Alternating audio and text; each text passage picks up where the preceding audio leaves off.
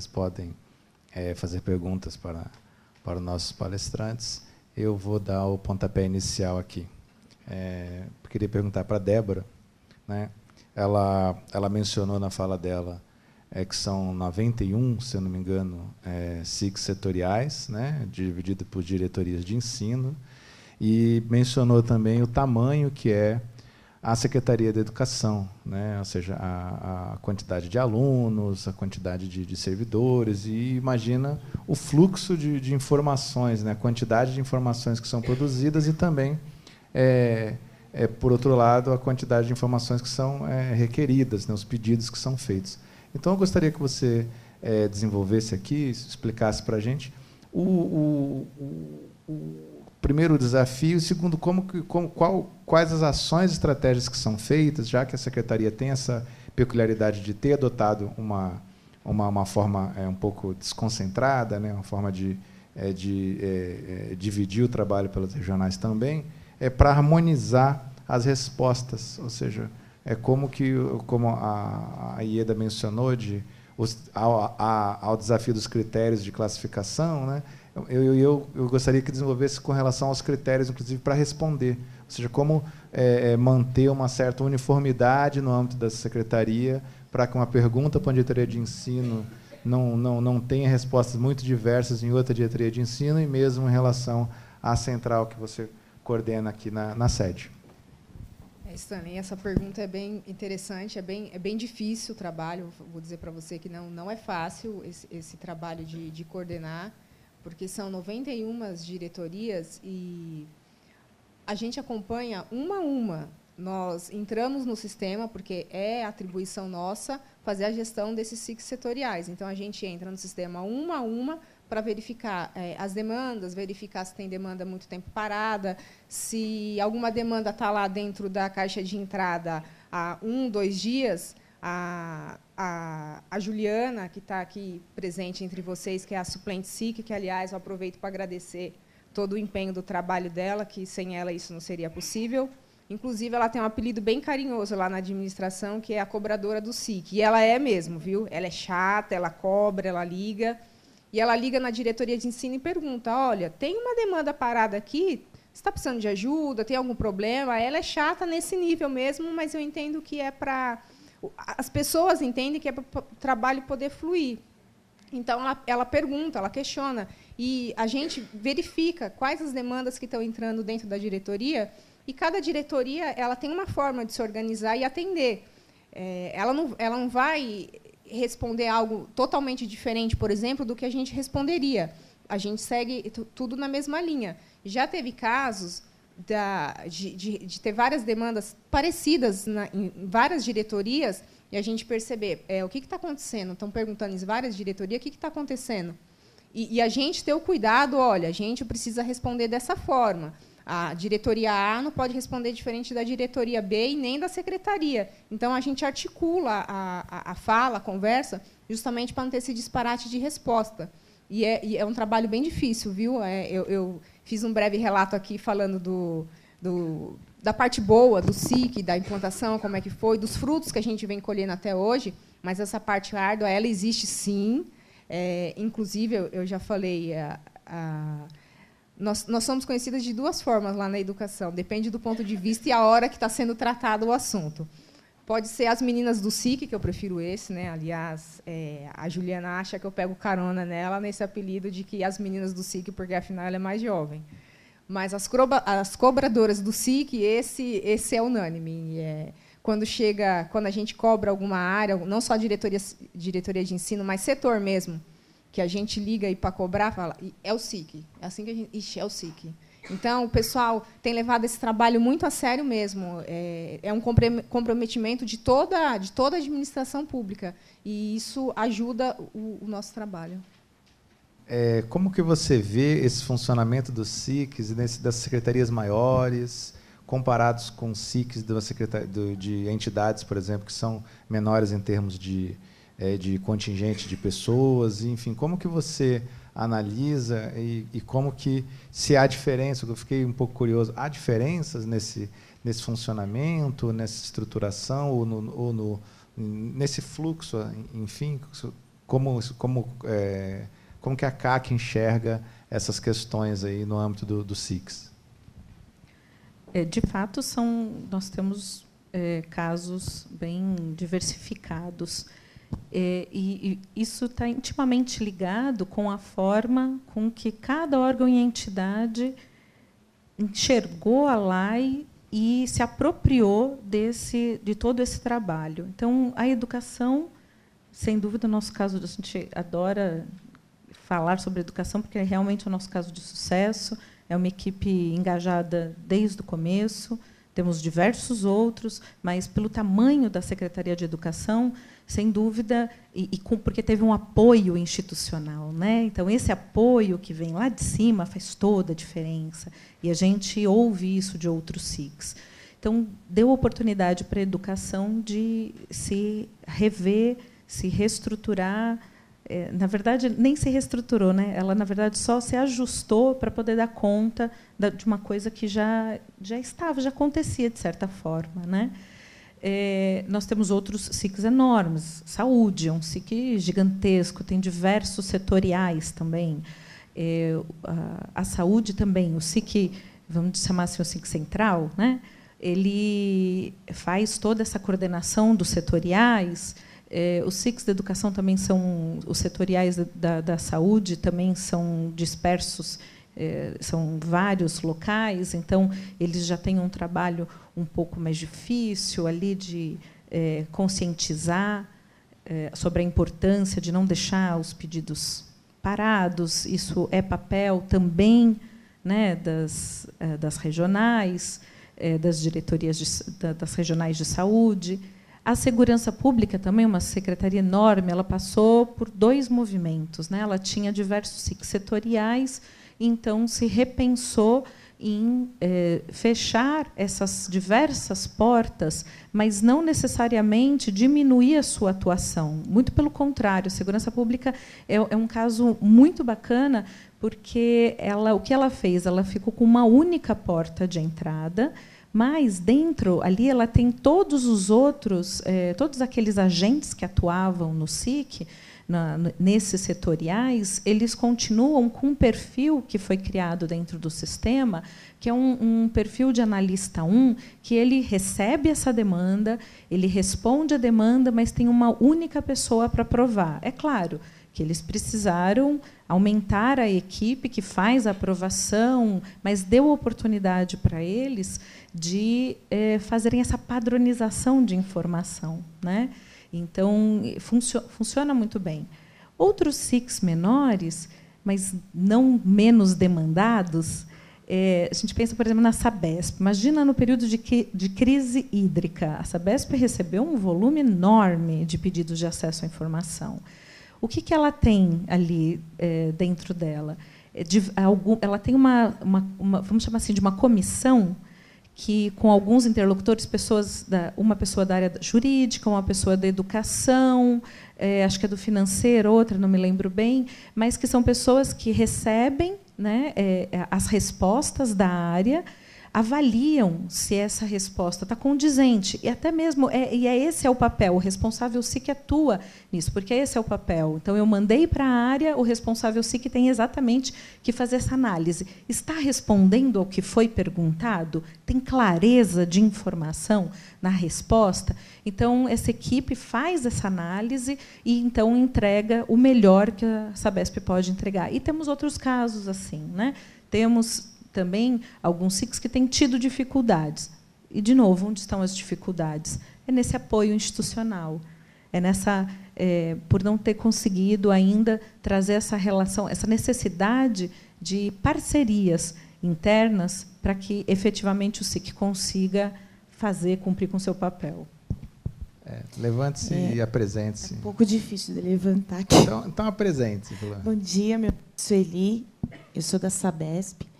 É, achei bem importante que foi falado a respeito da necessidade de criar o direito à privacidade interessante e urgente, porque a gente, nós como cidadãos, encaminhamos nossas informações para alguns órgãos e depois a gente é, percebe, né, que essas informações elas são disseminadas por vários lugares aí. É, mas a minha pergunta é que recentemente foi publicada uma resolução orientando que as empresas suspendessem, suspendessem né, temporariamente a contratação de GED. E eu queria saber se vocês podem falar alguma coisa sobre isso. Obrigada. Ah, obrigado. É, é, é, recente mesmo, é uma deliberação né, do COETIC, o Conselho Estadual né, de Tecnologia da Informação e Comunicação. E, e a ideia é, é o seguinte, porque ah, cada órgão está tomando iniciativas eh, individuais para resolver o problema, né, de substituir o papel pelo digital. E, e o que o governo gostaria era de ter uma solução corporativa, uma solução única para todos os órgãos e entidades, inclusive para facilitar essa integração depois. Então, a ideia é aguardar um pouco, porque está em curso vários estudos, né, sistemas que estão sendo analisados, tem um grupo de trabalho é, responsável por isso, o Arquivo Público integra esse grupo de trabalho, é, a, junto com o CETIC, PRODESP, Fazenda, Planejamento, uh, e, e, e todos estamos juntos analisando alternativas para se adotar uma solução única é, para o Estado. Porque eu acho assim, a palavra de ordem é integração. A partir do momento que cada órgão tem o seu, o, o seu próprio sistema, que não interopera, é, que não conversa com os outros, as informações ficam muito segmentadas. Né? Então, é desejável uma solução de governo é, a ser adotada por todos os órgãos. Né? E é isso que está em curso. Então, a, recomendação é, Coetic é para aguardar, mas isso está acontecendo de forma muito acelerada. Em breve haverá uma definição a respeito. É, bom dia, meu nome é Ricardo, sou da Fundação Ococentro. Ah, uma dúvida que eu tenho com relação ao sistema de informação ao cidadão é quem é que deve fazer essa solicitação? É o próprio cidadão ou são instituições ah, denominadas ou é, com caráter de apoio ao cidadão? Né? Eu falo isso porque nós temos uh, demandas na Fundação Ococentro, que é de instituição de pesquisa uh, que demandam é, informações é, detalhadas de tudo que acontece dentro da instituição com relação a compras, etc. Né? Então, como é visto isso, é o SIC funcionando para o cidadão, mas quem é o agente que cria demanda é uma outra instituição, uma pessoa jurídica. Acho que a pergunta dele é mais no sentido de quem tem, tem o direito de fazer esse pedido, a quem o SIC deve atender. Uhum. Acho que a Mirabile ah, pode, pode comentar aqui. É, as ONGs, as diversas instituições, entidades jurídicas também têm direito de fazer o seu pedido de acesso à informação, até mesmo porque elas têm um representante legal. Né? Então, elas se identificam. Então, não há uma restrição sobre isso. O cidadão, ainda que é, se apresentando como um, né, um representante da, da, de uma entidade, ele pode fazer esse pedido de acesso à informação. Não há. É, o que você, nesse seu caso especificamente, tem que avaliar é se as informações que estão sendo pedidas ali, é, se é muito recorrente que venham uma série de informações que estão sendo pedidas para vocês são informações que, de alguma maneira, poderiam já ser disponibilizadas na sua transparência ativa, que fariam com que diminuíssem o seu, a sua demanda e que fizessem, então, com que a, com que a entidade já tivesse até mais facilidade para procurar. Uma outra coisa também que eu acho muito pertinente e já acontece com vários órgãos e entidades é parcerias com instituições. Né? Elas têm um enorme interesse até para a própria construção de novas políticas públicas, de entender a vida desses órgãos e entidades.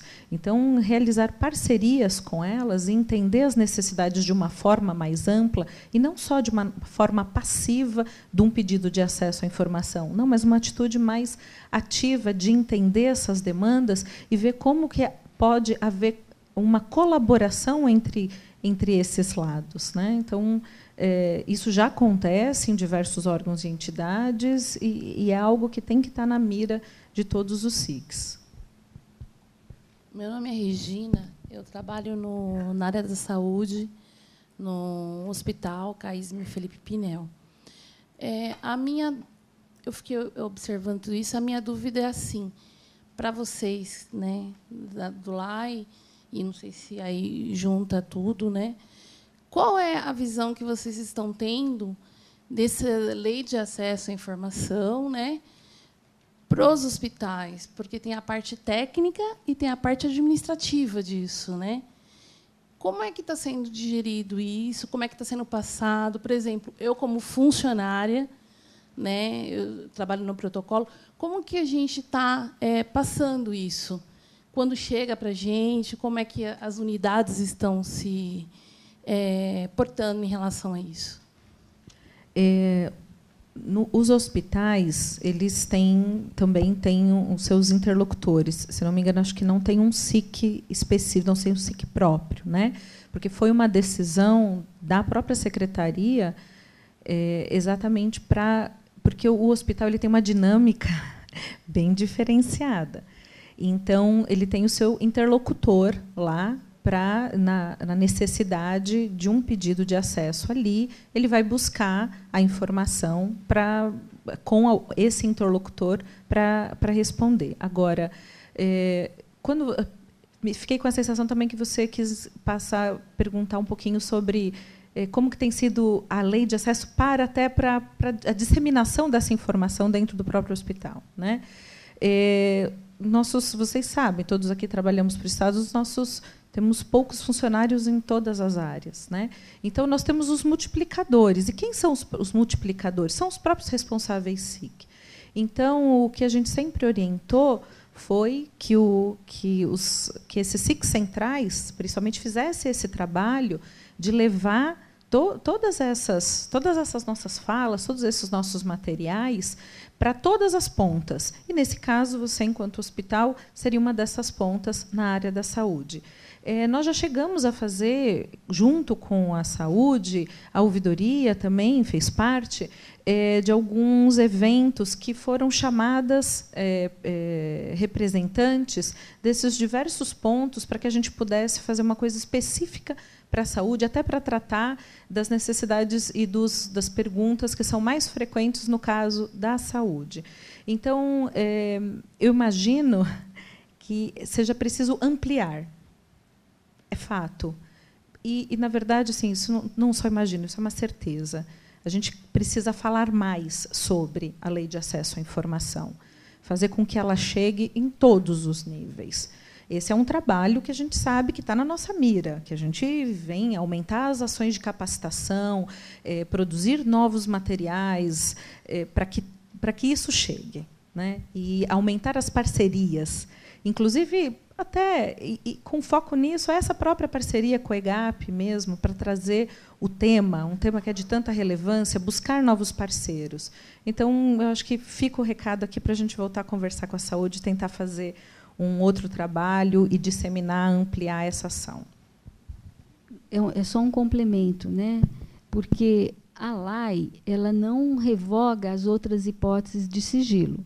Então, toda a legislação, todas as normativas é, que restringem eventualmente acesso, elas não foram revogadas com a lei, elas per, per, perduram. Então, por exemplo, é, se tem legislação específica sobre segredo industrial, segredo de justiça, sigilo fiscal e mesmo ah, sigilo na área médica, é, resoluções do Conselho Federal de Medicina, tudo isso não é revogado com a lei. Isso precisa ser observado. Então, as informações é, pessoais, elas não podem, de fato, ser disponibilizadas para terceiros, né? É, com uma única exceção, se o interessado autorizar, né, mediante autorização do interessado. É, ou em outras hipóteses, outras exceções que a lei também prevê. Então, por exemplo, no caso de pesquisa científica, onde o interessado não será mencionado. O que interessa é o dado é, é, informacional é, da, do objeto, né, no caso da doença, né, do diagnóstico, e não da pessoa. Né? E no caso de produção de estatísticas também. Né? Então, assim, existem algumas, no capítulo lá da lei, tem assim, da proteção das informações pessoais. Então, aí vem as regras gerais e depois vem as exceções.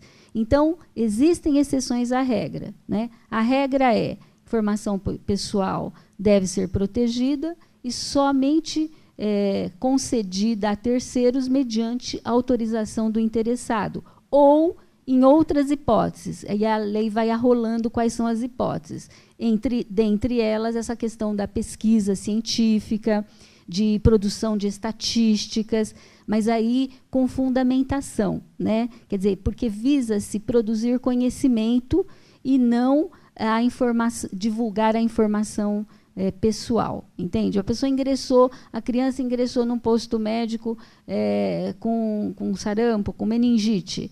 Não é o dado da criança que vai ser divulgado, mas imediatamente existe um procedimento de se cadastrar isso numa base de dados do Ministério da Saúde, que já vai fazer estatística daquilo, porque precisa ter controle endêmico, epidêmico, epidemiológico. Então, é preciso que esses dados sejam registrados em algum lugar, mas não o dado da pessoa. Né? Então, e, e, os demais hipóteses de, de, sigilo também não foram revogados com a lei, precisam ser observados no campo da saúde, se existir legislação específica para isso. É, eu eu tô querendo pegar um gancho na, na, na identificação que ela falou que trabalha no protocolo e eu acompanho as inscrições, né, na hora que faz o gerenciamento, eu vejo que muitos são de setores protocolo, inclusive o e-mail de contato lá, geralmente está lá não sei o quê, protocolo e o, e o lugar. Aí eu queria perguntar para a Débora, no primeiro momento, é, como, como, qual, qual, qual, o impacto, ou como que, como que se relaciona é, a questão de, dos serviços SICs na, nas secretarias e esse serviço de, de protocolo no âmbito da, da, da SE?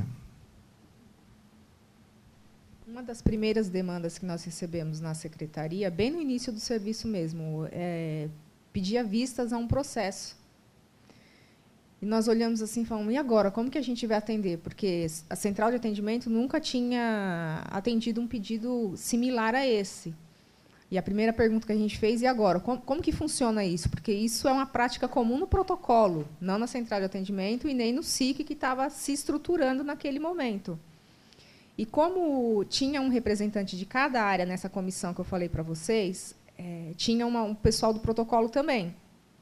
A pessoa chegou, queria vistas ao processo, nós corremos, literalmente corremos no protocolo. Olha, a pessoa está aqui, o interessado quer ver o processo. Como que funciona? Ele pode ver, ele não pode ver. É, a gente dá o processo na mão dele, fica. Como que funciona?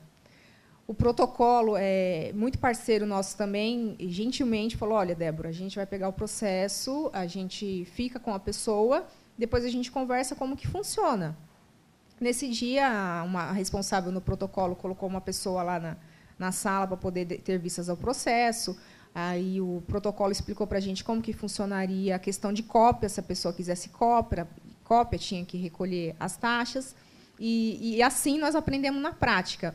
Mas, é, com relação a protocolo, não é uma demanda de grande volume na secretaria, não. Mas foi assim que nós começamos a, atender o, as demandas de protocolo. A gente correu no protocolo e aprendeu na prática como é que funcionava. Eu queria que a, que a Ieda é, é, abordasse, porque é, pensando também no público que frequenta o nosso, nosso ciclo, né, e levando em consideração que esse é o último, é o último desse ano, né, deixar claro, né, é, com relação a nessa questão da, da, da, da, promoção do acesso, do direito de acesso à informação, o papel que cabe de uma maneira geral aos protocolos e aos membros das, das CADAS, né, que são o, o nosso, o nosso público cativo, cadas e subcadas também. É, gostaria que você tentasse é, é, é, sintetizar é, qual, em que medida eles têm um papel é, nessa promoção do acesso, não ficar restrito só ao SIC. Né? Às vezes, fala do acesso à informação, as pessoas acabam achando que isso tem a ver somente com o SIC. Eu gostaria que você é, abordasse essa questão, tanto das CADAS quanto dos protocolos de uma maneira mais ampla. É, o nosso decreto que regulamentou a LAI, o 58052, é, diz expressamente que a política de arquivos, a política estadual de arquivos, ela é integrada pelas, pelos serviços de protocolo, pelos serviços de arquivo, pelas comissões de avaliação de documentos e acesso, né, pelo sistema informatizado SPDOC, né, é, e pelos SICs. Então, veja que é um combo, né, justamente por conta desse entendimento de que o trabalho de fornecimento da informação ele não está desconectado do trabalho de bastidor de tratamento e organização dessa informação. Não é? Existe uma relação é, estreita entre eles. Quer dizer, quanto mais esse trabalho de bastidor tiver realizado, mais rapidamente o SIC vai entregar a informação. Então, eu já mencionei anteriormente a importância de se produzir, na origem, a, a informação estruturada, o documento estruturado. Como que isso é possível? Parece meio abstrato. Quando você vai registrar um documento em qualquer é, ferramenta de controle, qualquer sistema de controle, ele já precisa ser registrado adequadamente, de acordo com critérios técnicos e padronizados. Quais são os critérios que a gente utiliza para registrar, para cadastrar? É o plano de classificação. Né? já tem um código adequado para aquela série documental, é, e o documento, então, vai estar relacionado àquele conjunto. Então, na origem, ali já vai estar atrelado a esse documento a temporalidade, qual o prazo de, de guarda que nós vamos observar, e a destinação, de, quais serão eliminados e quando, e quais deverão ser preservados.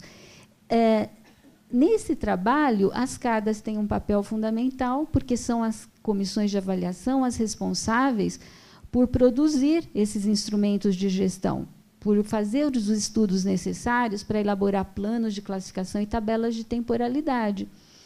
É, eu costumo brincar, né, mas tem algo de sério nisso, que cada tabela, plano de classificação e tabela de temporalidade é uma tese de doutorado. Acho que o Stanley não concorda comigo. É, é uma tese de doutorado, porque o doutorado pressupõe a construção de um conhecimento inédito, né? É um trabalho de pesquisa, de construção de um conhecimento inédito, que ainda não existia.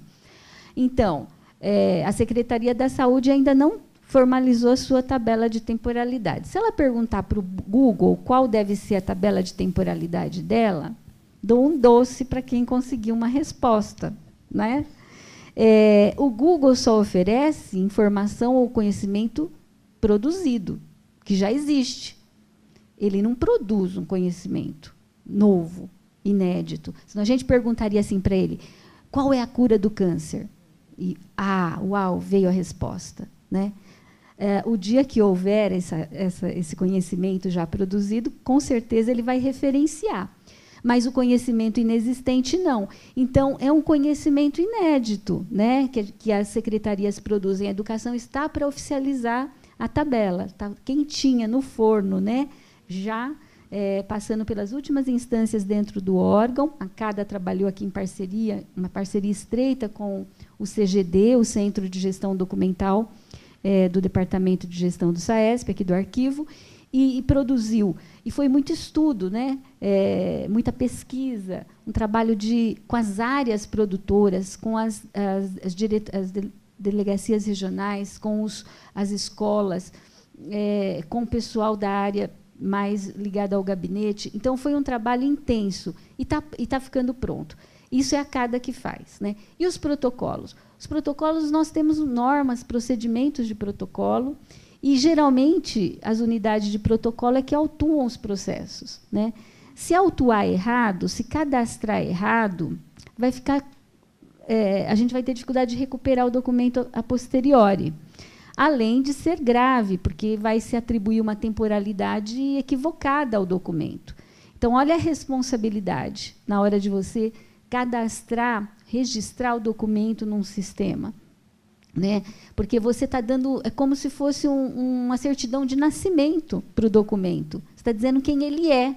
Eu estou dizendo, isso aqui é, uma, é um processo de aquisição de material é, permanente eu não posso me equivocar e dizer que ele é uma outra coisa. Isso é um processo de convênio. Eu não posso dizer que não é aquilo, né? Então, o documento ele já nasce classificado de forma estruturada na origem. A partir disso é que a gente vai aplicar temporalidade, destinação e posteriormente a gente vai recuperar a informação também.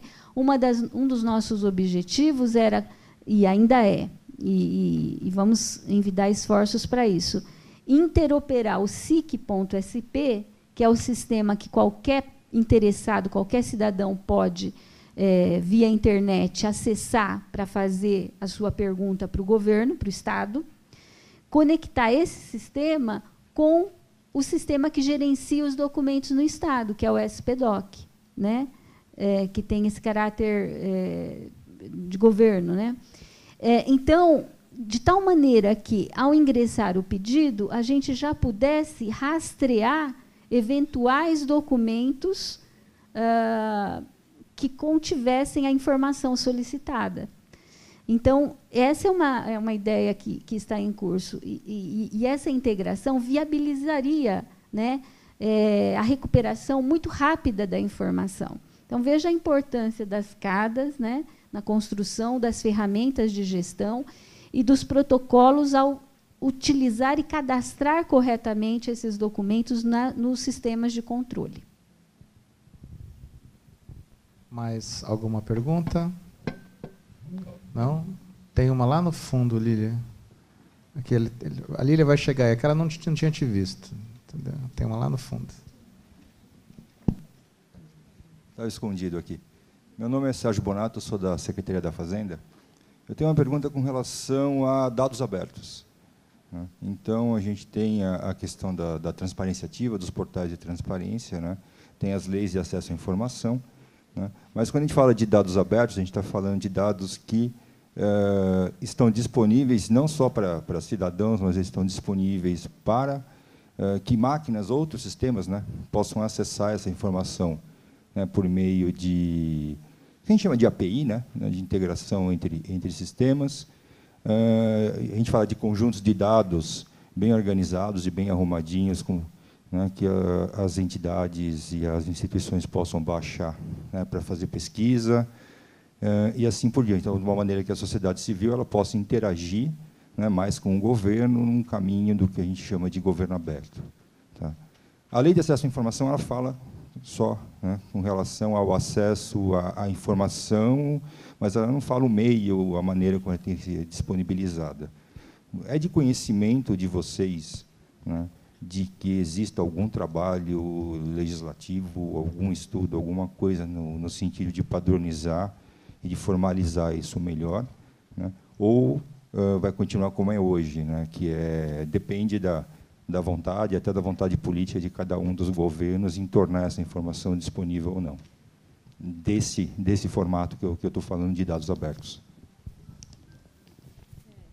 Ah, Mirable, posso, qualquer coisa aí complementa. É, na LAI tem a previsão né, do catálogo de base de dados, que é a, a, que é a responsabilidade da Fundação SEAD que é exatamente de fazer essa reunião que é o que se transformou no governo aberto, né? O governo aberto é, é esse, é esse catálogo. Sim, tem um portal né? governo aberto. Isso. Então todo esse trabalho que a Fundação SEAD eh, continua atuando em buscar todas essas bases de dados para poder alimentar esse sistema. Então, nesse sentido, o que, que o que, que se busca? Que a identificação em todos os órgãos e entidades das suas já bases já existentes e auxiliá-los a deixar isso numa linguagem que seja acessível. Então, não há assim, um, uma padronização. O que poderia haver, talvez, até desse grupo que trabalha nisso, é a indicação e uma orientação para todos de como essas bases e até as futuras, as que já foram criadas, talvez teriam que passar por adequação, mas as futuras bases de como elas deveriam já ser criadas pensando na promoção do acesso. Né? Agora, um trabalho legislativo sobre isso, eu não tenho conhecimento. Não sei se a IEDA tem algum conhecimento, se tem alguma coisa em curso. É, mas que já que tem a previsão de que deve essas bases existentes têm que ser acessíveis, isso já está garantido lá no 58052. A existência do próprio catálogo já já está lá, já se confirma. Mas eu ainda acho que valeria a pena um trabalho de eh, entender, até orientar quais são as linguagens corretas na construção dessas novas bases e como que elas deveriam já ser eh, amplamente até no seu nascimento já serem divulgadas já compor a estrutura do governo aberto para que efetivamente isso acontecesse. Entendi. Então, mas está nessa legislação estadual, né? Na federal ela é mais lacônica com relação a isso. E na municipal provavelmente não, não exista nada, então acaba sendo, uh, como eu falei, ainda é uma, uma, uma iniciativa de cada governo né, de fazer e de promover esse tipo de coisa. Não é uma coisa como a, como a LAI, por exemplo, prevê até uh, penalidades né, para quem não a cumpre. É, nesse sentido, a gente fica feliz de saber que o governo de São Paulo já deu esse passo a mais e já normatizou e já criou essa estrutura para que consiga dar conta. Agora, em termos mais amplos, né, falando de uma estrutura nacional, tem essa essa deficiência. Tem algumas para a gente a gente ainda tem que admitir, infelizmente, que não foram todos os municípios que implementaram, que regulamentaram a sua lei, né? Sim. Então, se a gente ainda fala depois de seis anos de municípios, é, eu não sei se tem casos de Estado, Estado eu espero que não, mas de municípios que ainda nem regulamentaram a sua lei, falar desse outro ponto, é, infelizmente, a gente ainda tem um processo para para percorrer, um caminho a ser percorrido. Entendi. Legal, obrigado. É, tem mais uma pergunta ali? Bom dia. É, Eugênio, Secretaria da Agricultura do Estado. Secretaria da Agricultura do Estado, CAT. Ah, minha pergunta é o seguinte: a questão dessa disponibilidade uh, e acesso tão aberto como vocês estão dizendo aí, não existe um perigo de vazar dados que seriam de extrema uh, segurança, de sigilo de, da instituição para alguma para algum alguma entidade que alguém que quisesse até cometer um crime contra o Estado? Chega responder. É, você coloca uma questão muito importante que eu acho que está é, tá presente na maioria das mentes né, e corações dos servidores. É, o fato é o seguinte: a lei deixa claro que não cabe a ela dar conta de eventuais crimes que as pessoas puderem cometer a partir das informações que elas tiveram acesso com é, é, esses crimes serão tratados com a legislação ordinária comum. Né? Já existem é, tipificação de crime para tudo, né? e legislação e código penal é, e código civil, é, que vai responsabilizar as pessoas pelo mau uso que elas fizerem é, das informações, né? motivados de com má fé, etc.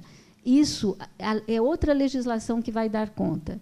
A lei deixa claro o seguinte, que o que interessa é que uma informação que é pública tem que ser concedida é, a qualquer interessado. Né? Agora, com responsabilidade. Por isso que tem um capítulo sobre classificação de sigilo e um capítulo sobre proteção de informações pessoais. E não é um trabalho que dá para improvisar. Não dá para dizer assim, ah, eu acho, você acha, nós achamos. Por isso que a gente sempre diz, o grande desafio é, é, é conhecer os documentos e as informações.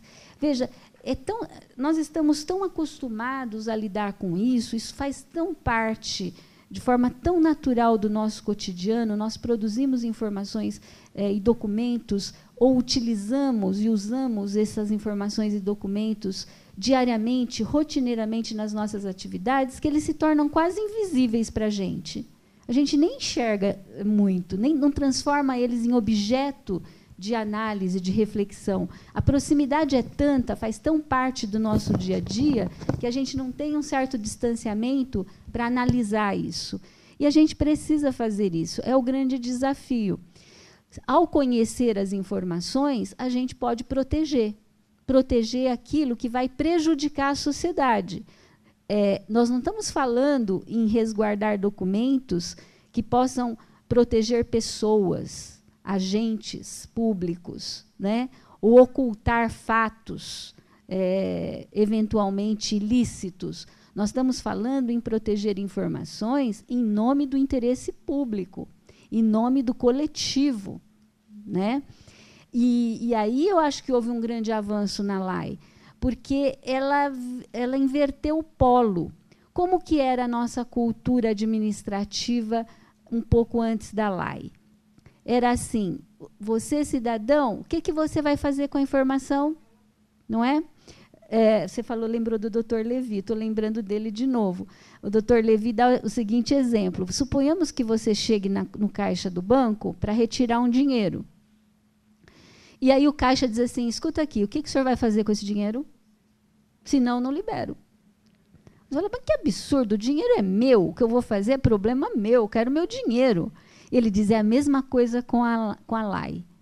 Se a informação é pública, por que, que a gente está perguntando para quem é o legítimo detentor da informação o que, que ele vai fazer com ela?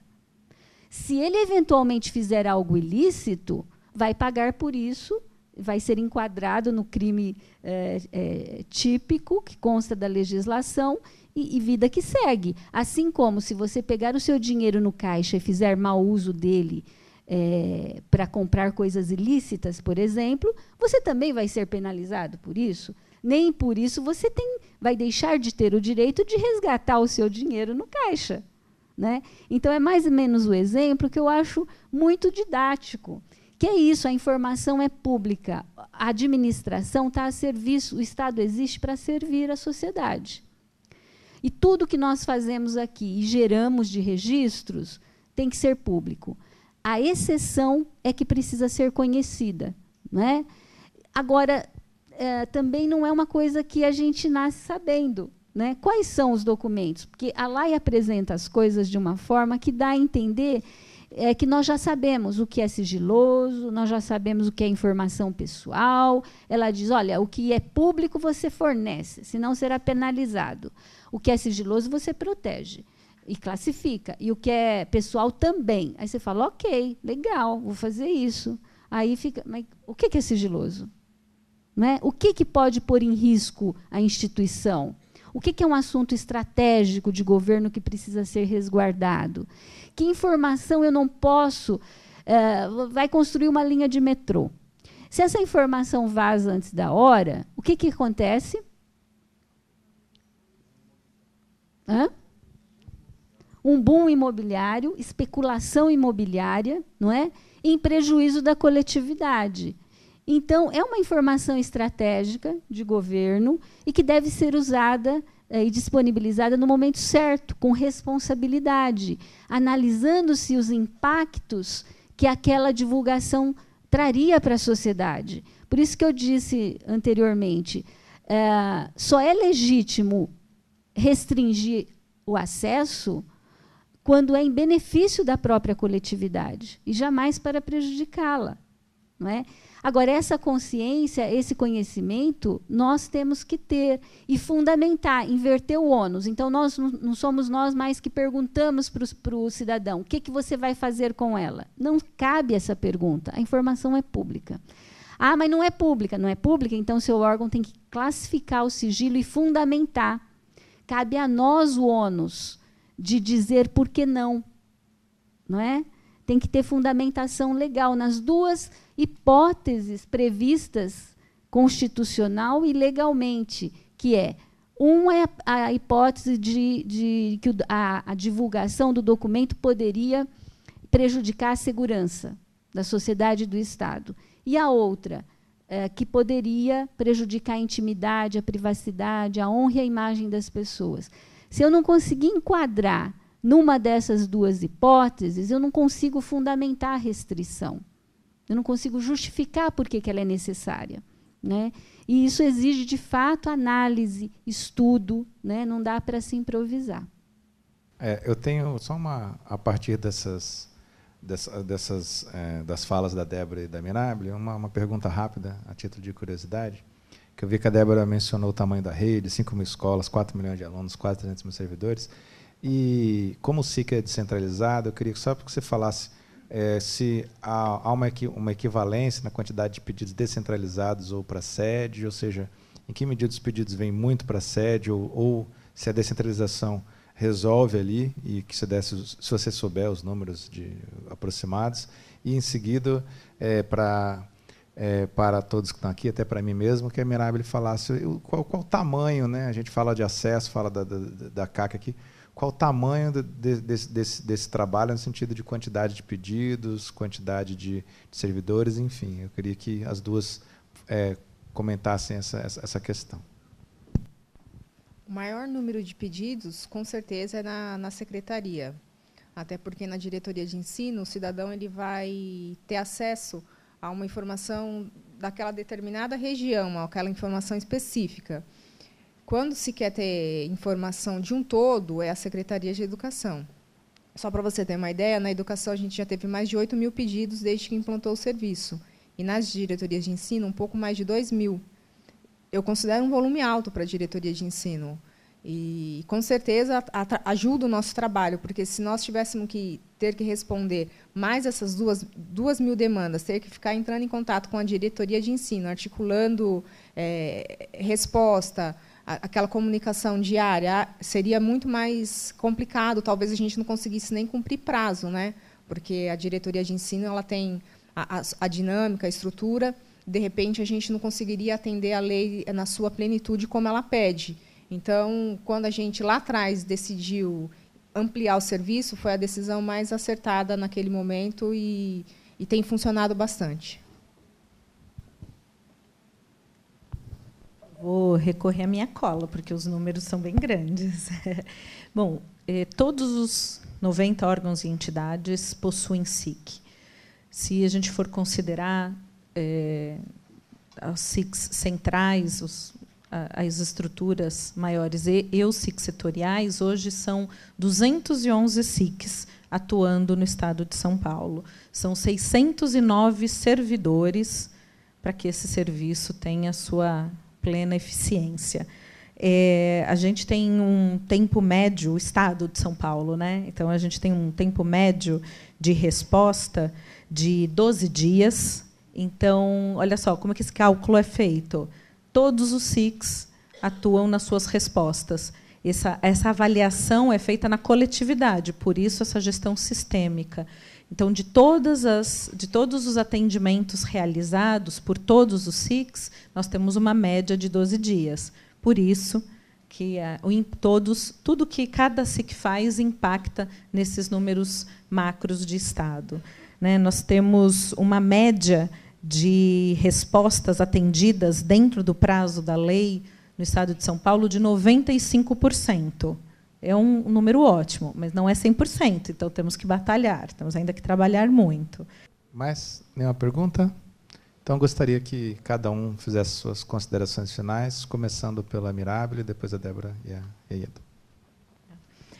É, agradeço mais uma vez a oportunidade de estar aqui, é, o convite do arquivo, da IGAP, a oportunidade de estar ao lado da Ieda, da Débora, do Stanley, e principalmente de ouvir o SIC né, da educação, um caso prático, uma ação efetiva. Então, tudo aquilo que a gente é, elabora, a gente é, estuda e pensa para que possa trazer praticidade, melhorias, efetividade no trabalho do SIX. Então, ver que isso está acontecendo e, ouvir casos de sucesso é muito gratificante.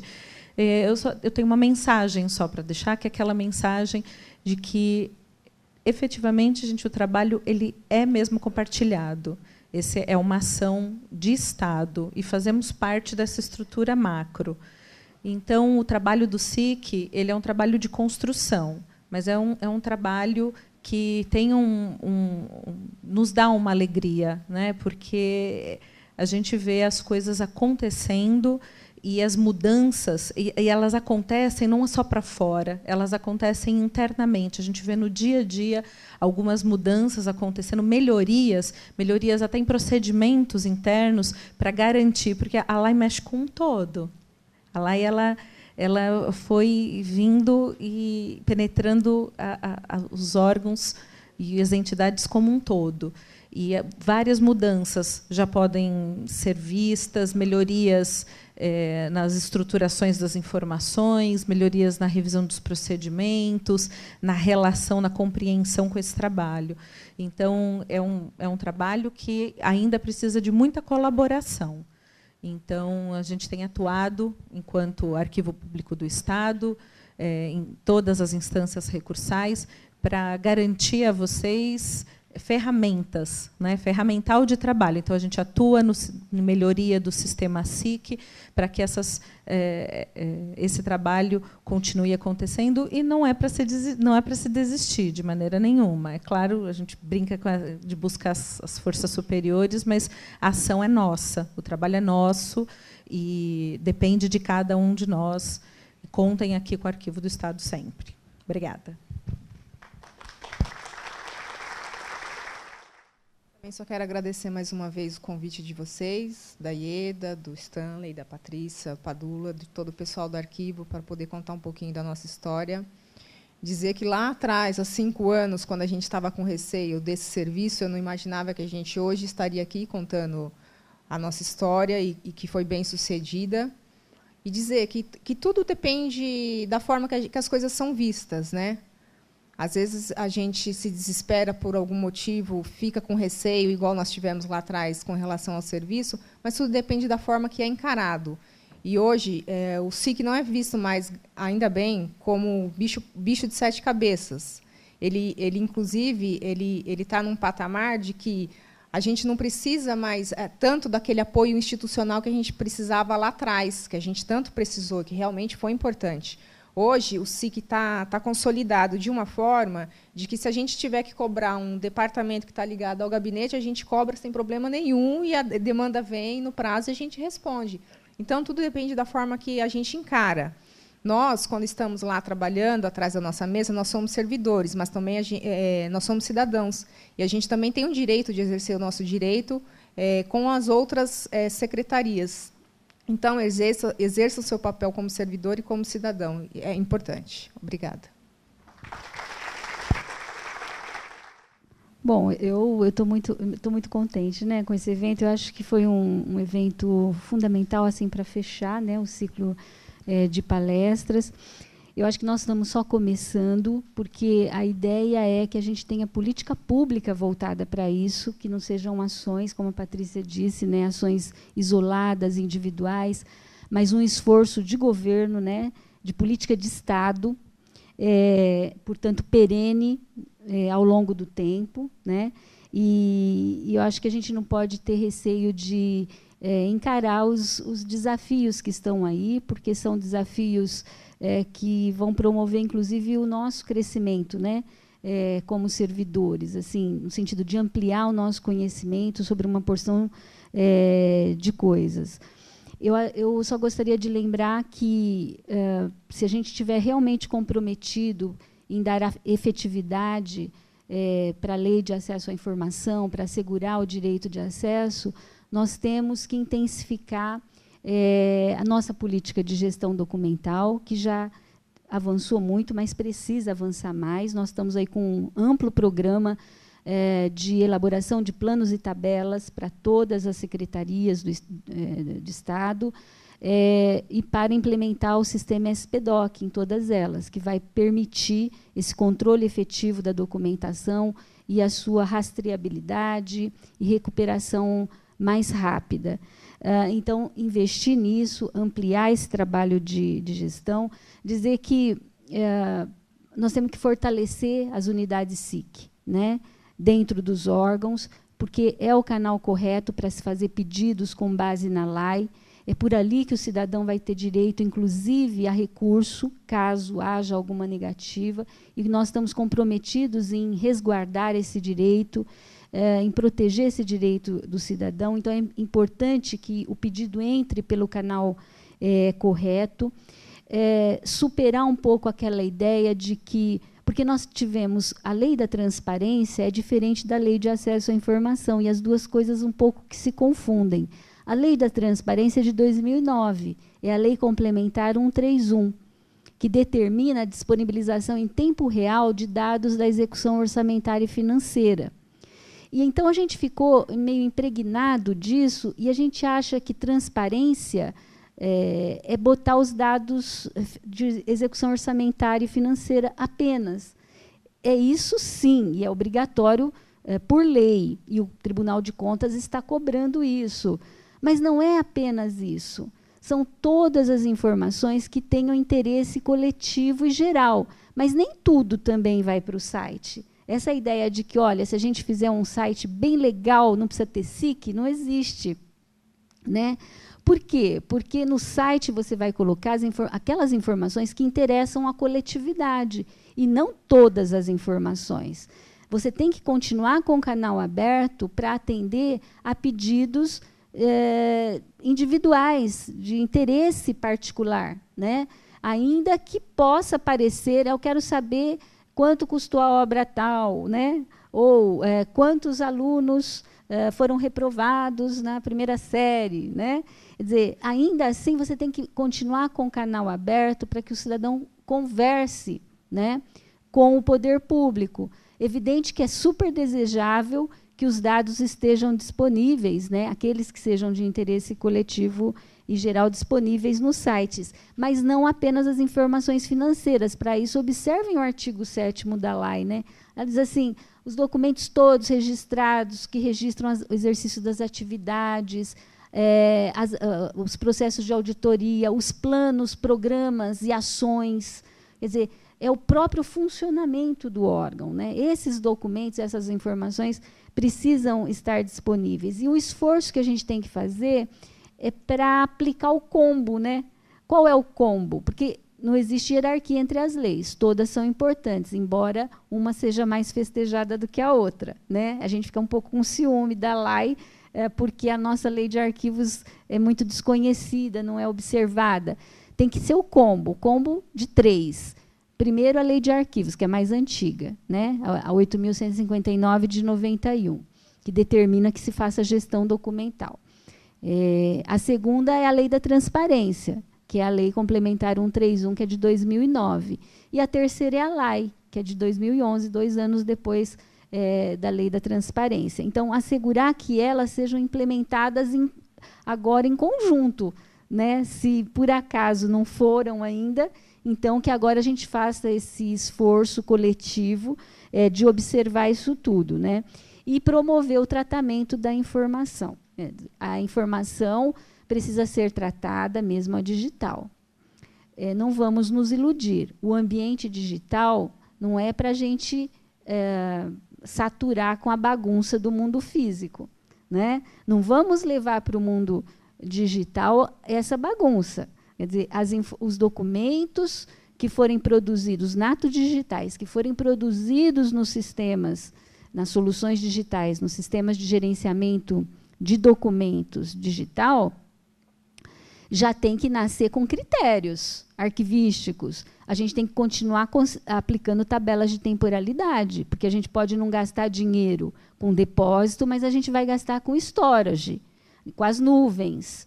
Então, ilusão achar que porque é digital eu posso ir produzindo e acumulando lixo digital indefinidamente. Eu não preciso mais me preocupar com eliminação. Não é verdadeiro isso. Né? Então, o ambiente digital ele precisa de regras também. Ele precisa de observar requisitos, procedimentos, tal como no mundo físico.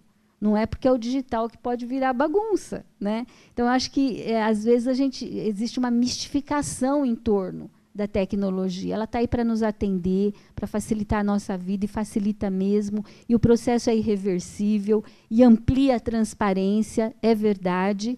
Agora, por outro lado, a gente tem que resguardar o valor de prova dos documentos, a autenticidade deles em qualquer é, ambiente, seja no ambiente físico ou digital, né?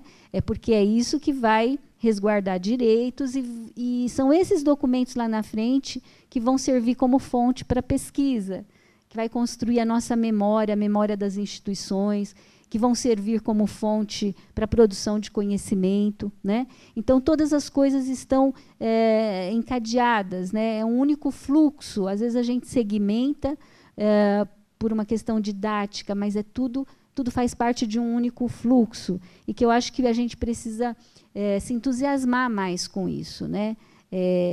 Ninguém fala, ninguém está dizendo que é fácil, mas a gente sabe que é necessário, que é importante. E acho que vale a pena a gente investir nosso esforço, a nossa vida profissional é, nesses grandes desafios.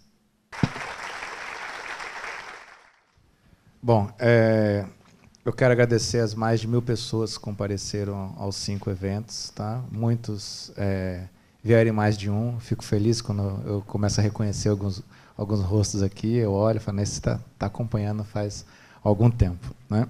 Agradecer à Secretaria da Agricultura, à Secretaria da Fazenda, à Secretaria da Saúde, da Justiça e da Educação, que cederam servidores para fazer os relatos de experiência, e também a Unicamp, que cedeu um, um palestrante.